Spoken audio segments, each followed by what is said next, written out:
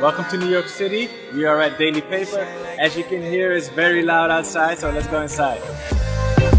How you gonna eat where your dogs are starving? Yeah. My co-founders and I are all from different parts of Africa. You can see parts of our heritage everywhere in our design, from our clothes to even the store design.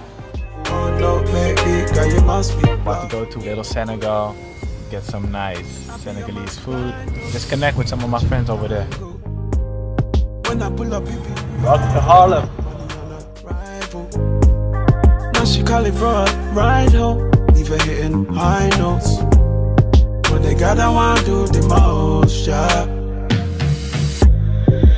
How you gonna eat where your dogs Thank you Instagram for spending the day with me. Peace.